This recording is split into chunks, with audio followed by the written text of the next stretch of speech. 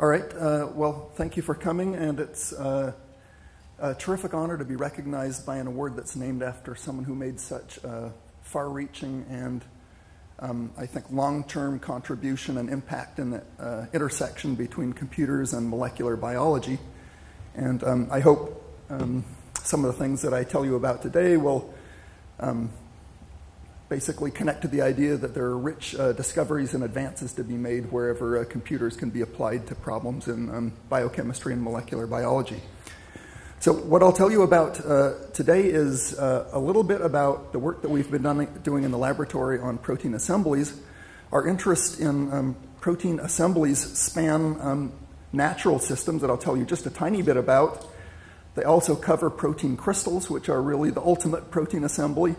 Uh, but most of my talk uh, will be dedicated to some exciting uh, recent work on uh, redesigning protein molecules to make them uh, self assemble into sophisticated structures uh, motivated by natural systems. So I'll tell you just a little bit about um, some of the work that we're doing on the biological side, um, partly just as an advertisement for um, some really cool systems. These are systems that I'm uh, chagrined to say that I think are still widely uh, not appreciated. It turns out that in probably about 20% of all bacteria under certain growth conditions, uh, the bacterium will produce giant protein capsids that look exactly like viruses, but in fact they're not viruses. They're essentially protein based metabolic organelles that the bacteria use to encapsulate a series of uh, sequentially acting enzymes for the express purpose of carrying out a metabolic reaction in an enclosed space uh, protected from the cytosol. So I don't have time to say a lot about these, just two slides. Uh, the founding member is called the carboxysome. It encapsulates rubisco and uh, carbonic anhydrase all through the oceans, cyanobacteria, where they fix CO2. That's all being done inside a protein box.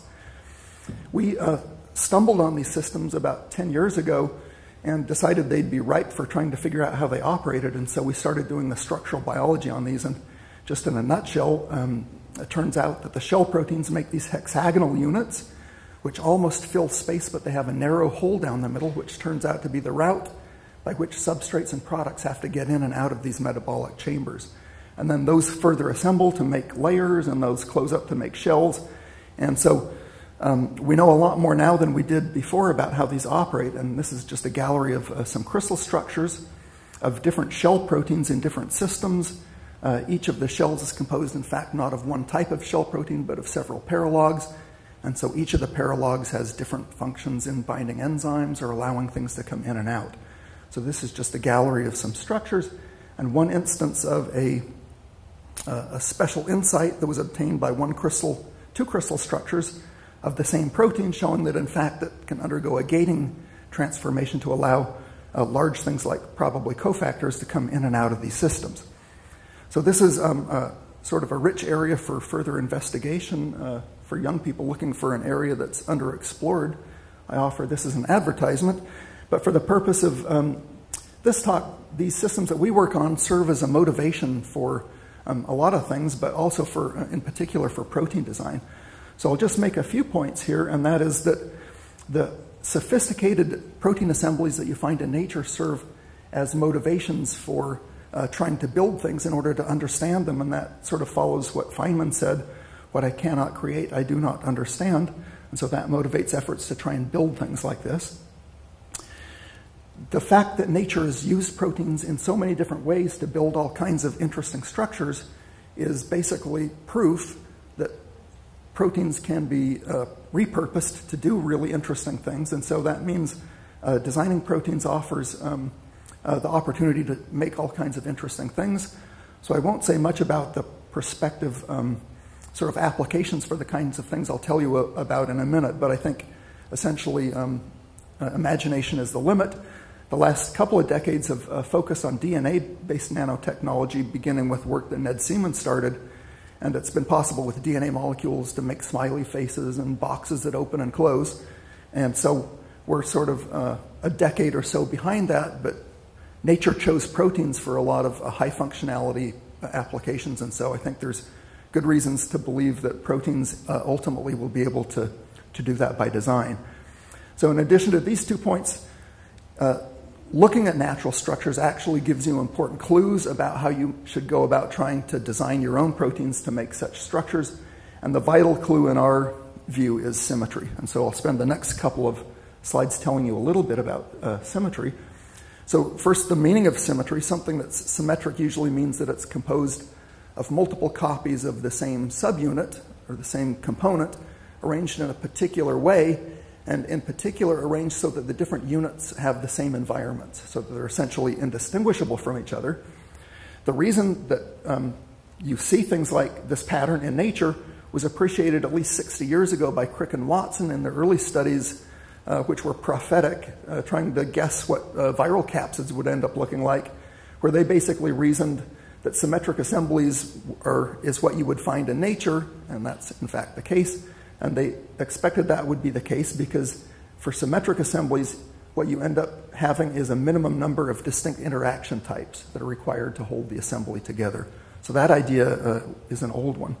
So I'll tell you now a little bit about sort of ideas about uh, symmetric assemblies and the number of ways the molecules have to touch each other in order for them to constitute a connected uh, object. So here's the simplest case, and this is basically illustrates the possible outcomes that you can have in a system where a molecule only has one interface. It only touches itself one distinct way. And what you can see here is there's really just sort of two outcomes. One is you can have a head to tail arrangement. This contact is the same as that one, and you can just get a linear filament. Um, another possibility is that the connection between the things is not straight but bent, and then you can get rings of subunits. But there are no other possibilities for forming architectures with a subunit that only touches itself one way. That's basically as far as you can go. And you can basically uh, understand why that's the case by a little bit of group theory. So anything that's symmetric can be described by its symmetry group, which is a collection of all the operations that you can do to the whole assembly that don't leave it that leave it unchanged. And so as an example, here's this cyclic ring with six subunits. The symmetry operations of it are 0 degrees, 60 degrees, 120, 180, 240, 300. That group is called cyclic because you can take one element out of that group, 60 degrees, and if you multiply it by itself over and over, you get all the other elements. So these sorts of arrangements are simple and they can be made with one contact type because their groups can be generated by one element. So, what if you want to make something more sophisticated like the things you see in nature? Well, that means you have to have a molecule which touches itself more than one way. And so, what can you get if a molecule touches itself more than one way? So, here I've drawn out two of many, many, many possibilities of architectures you can get with two contact types. So, here's a ring of four molecules with one contact type, what you can see is it's sufficient. Introducing a single additional contact type is actually sufficient to make a quite complicated structure here 24 subunits in the shape of a cube. Here's the same four subunit arrangement here, and one extra contact with a different angle here will give an indefinite layer that goes forever in two dimensions. And there are many other possibilities. And so here's a sort of a complicated mathematical statement, but basically, the summary is that if you understand the symmetry of an architecture that you're interested in, then you can work out how many different contact types have to be in the object in order to make it. And that idea has uh, basically propelled a lot of work in my laboratory in the last um, couple of decades. Uh, really work along two lines. I don't have time to tell you uh, in much detail about the first one. I'll just show you one slide. Uh, and that is that, as I said, protein crystals are really the ultimate assembly. And uh, both of our previous speakers alluded to the difficulty of growing protein crystals, and so all crystallographers are interested in uh, why it's so hard and how it might be made easier. Um, and so, of course, the molecules have to touch each other a certain number of ways to make a protein crystal. And just this one slide summarizes a, a very old paper that uh, I think is whose influence continues to grow, and that is that uh, skipping all the underlying details, with this idea of the minimum number of contacts required to make assemblies, what we uh, basically worked out uh, 20 years ago was an answer to a long standing puzzle about why certain arrangements are so much more commonly found in protein crystals compared to others. And basically, the surprise from the analysis was not just that we could explain why things are the way they are, But an extension of the idea uh, from a long time ago was a prediction that if you could make molecules, biological molecules, in both hands so that you had a racemic mixture, that theory we worked out predicted that your chances of growing crystals would be much, much higher than trying to grow them from the biological hand. Now, until we have a left handed E. coli from which we can purify left handed ribosomes and left handed pre initiation complexes, it remains a problem. But for the regime where you can make uh, peptides or nucleic acids, basically this is the answer. If you can make it in both hands, your, your problems are much, much smaller. So, anyway, that's just one slide that uh, basically came from uh, uh an, an idea that came from this contact number work. And so, what I'll tell you about now is basically sort of the, the rest of the talk is how it's led us to ideas for how you can take protein molecules and design them so they'll self assemble into sophisticated structures. So, based on what I uh, told you, I think you can see the problem now reduces to, to sort of two problems, and that is if there's a particular kind of architecture you want to build, what you have to know is how many different contact types are required for that architecture, and it turns out to be a sort of a group theory problem. And then the second part is, of, is, of course, once I know how many contact types and I know the geometry, how do I put those in a protein molecule if they weren't there before? So I'll tell you uh, brief answers to those. So it turns out, uh, it was surprising to us that many, many sophisticated and seemingly complex architectures can be realized with only two distinct contact types. Now, you can build a structure of a given type with more than the minimum required contact types, but you can't build it with fewer. So it turns out that many architectures can be built with two contact types, and I'm showing you two examples here. These are similar to ones I showed you. Here's one object which has two contact types. This is meant to illustrate a 180 degrees or dimeric interface. This is meant to illustrate a 120 degree interface. That object with two interfaces, if the geometry is correct, will form a 24 subunit cube. Here's a two dimensional arrangement where there's two contact types that give a layer, and many, many other possibilities uh, can be created. So we came to this realization uh, some time ago, and then we asked ourselves well, if you want to build something out of protein molecules, it means what you have to do is figure out how to make a protein molecule that has two interface types in it. And so, how do you do that? Well, our work on this problem uh, is quite old now, our, our sort of initial work, and so it predates by many years uh, the idea that you can take a protein molecule and build an interface into it by computational sequence design. So I'll tell you a little bit about that at the end of the talk, but when we began this, uh, the possibility didn't escape our attention. It just wasn't possible, and so we had to come up with a different idea for creating protein molecules that had particular interfaces in them. And so the way we did that was to say, well, there are many protein, proteins whose structures are known, which are already simple oligomers, dimers, and trimers are, are rich. And so the idea was that if you took a protein that was a dimer and a protein that was a trimer and you just created a fusion between the two, then if the two components fold up correctly, you've created a protein molecule that has two interface types. It's got the dimer side and the trimer side. And so that's sort of back to this idea. So, of course, the problem is if you connect two proteins as a fusion, even if you don't put a lot of uh, amino acids between them, there's still an uncertainty about where they've been joined. The phi psi angle is unknown, and so you're not going to get any particular outcome. And so, how do you join two protein molecules in a way that they can be fused uh, together sensibly with the correct geometry? So, the answer to that was uh, developed by Jennifer Padilla in the laboratory, and the idea was that when you do these fusions, the idea was to focus only on proteins which have alpha helical termini, with the idea that if you take a protein which ends in an alpha helix and you fuse it to a protein that begins in an alpha helix, and you get lucky, and any intervening residues you use are of an alpha helix preferring character, then you might be able to get a single protein molecule where the orientation between the two components is predictable because you can just calculate on a computer, and each of the components then carries with it its natural interface. So that was Jennifer's idea. It was a bit of a wild stretch that this would work, but she executed it almost single handedly. So it was really sort of an exercise in combinatorial chemistry, taking all the known, uh, for example, all the known dimers, all the known trimers with helical ends, patching them, up, all the possible ways they can be patched up, putting short helical linkers between them, and then for all the possibilities, asking whether the orientation of the two components is correct. In other words, asking whether the symmetry elements that are carried by the two parts have the correct geometric disposition to build whatever the desired architecture was.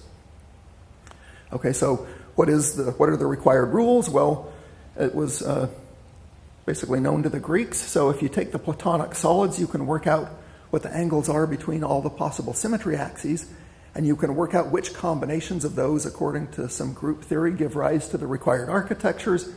And then you can just write those down as a list, and then you can go back to the combinatorial exercise and just ask of all the known structures that I could create in this way, how many of them have the required geometry.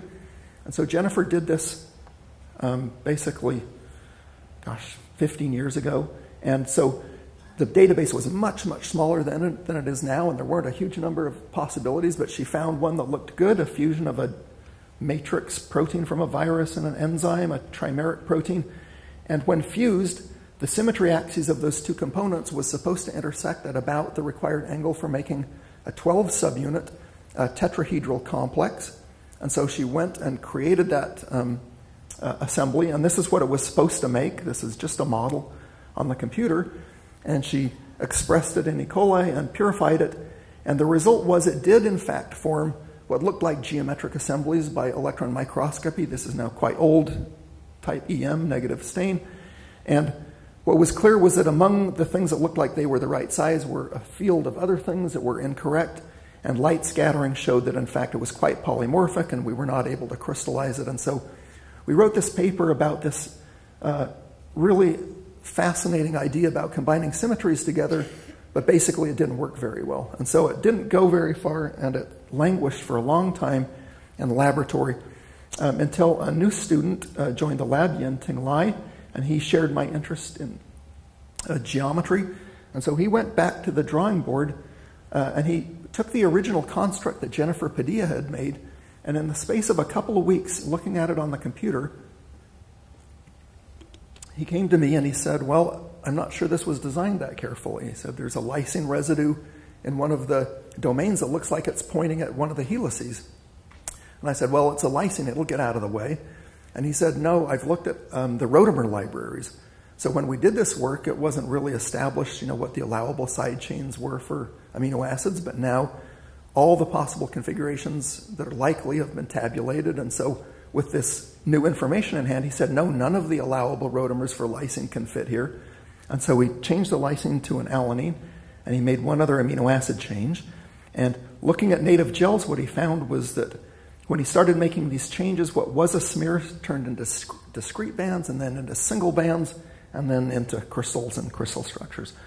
So after all this time, it really just took a little bit of more effort and a couple amino acid changes to show that this idea actually worked. And here's a crystal structure of the 12 subunit cage.